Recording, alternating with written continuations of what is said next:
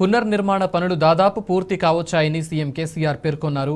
యాదాద్రి దివ్యక్షేత్రాన్ని సర్వాంగ సుందరంగా తుది మెరుగులతో తీర్చిదిద్దుకుంటే రానున్న మే మాసంలో పునః ప్రారంభం చేసుకునే అవకాశాలున్నాయని చెప్పారు. రాష్ట్ర ప్రభుత్వం ప్రతిష్టాత్మకంగా నిర్మిస్తున్న యాదాద్రి ఆలయ పునర్నిర్మాణ పనులను ఆయన పరిశీలించారు.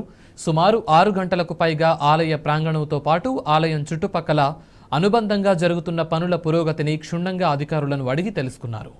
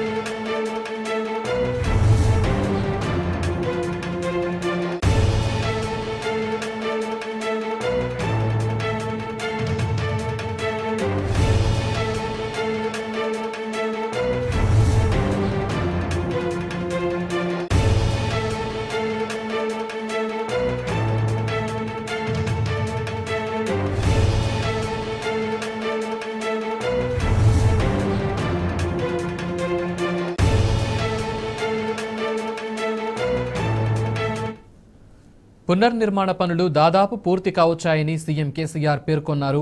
యాదాద్రి దివ్యక్షేత్రాన్ని సర్వాంగ సుందరంగా తుది మెరుగులతో తీర్చిదిద్దుకుంటే రానున్న మే మాసంలో పునః ప్రారంభం చేసుకునే అవకాశం ఉందని చెప్పారు. రాష్ట్ర ప్రభుత్వం ప్రతిష్టాత్మకంగా నిర్మిస్తున్న యాదాద్రి ఆలయ పునర్నిర్మాణ పనులను ఆయన పరిశీలించారు. సుమారు ఆరు గంటలకు పైగా ఆలయ ప్రాంగణంతో పాటు ఆలయం చుట్టుపక్కల అనుబంధంగా జరుగుతున్న పనుల పురోగతిని కూడా క్షుణ్ణంగా అధికారులను అడిగి తెలుసుకున్నారు.